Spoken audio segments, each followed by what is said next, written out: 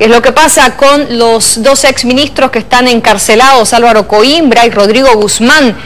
que junto a la expresidenta Yanine Áñez habrían presentado al menos cinco incidentes denunciando presuntas irregularidades y vulneración a sus derechos humanos. En fecha 26 de abril del año en curso, a horas 2 de la tarde, se va a llevar a cabo la audiencia de los incidentes y excepciones presentados tanto para la exmandataria como para los exministros. A ver, se ha presentado eh, un incidente de incompetencia en el entender de que la justicia ordinaria no sería efectivamente la facultada a efectos de poder determinar eh, o de poder llevar a cabo un juicio a una exmandataria y en este caso a dos exministros, pero no en el entender de que sean ministros, sino en el entender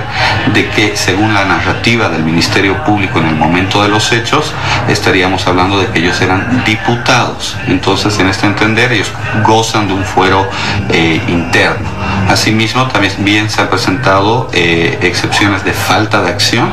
dos excepciones de falta de acción que tendrían que ver efectivamente también, se encontrarían relacionados con la situación de la competencia. Se ha presentado eh, un incidente de actividad procesal defectuosa en contra de la imputación a efectos de que la imputación que han sostenido tanto contra la exmandataria como, contra los exministros eh, pueda explicar de una forma más eh, racional eh, elementos a los cuales tienen que defenderse cada una de estas personas. Un incidente de actividad procesal defectuosa en cuanto a los mandamientos de allanamiento